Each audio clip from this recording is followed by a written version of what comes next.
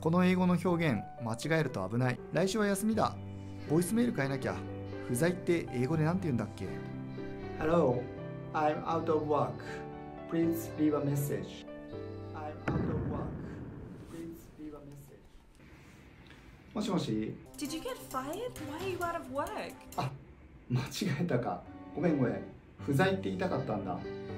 Hello, I'm out of work. Please leave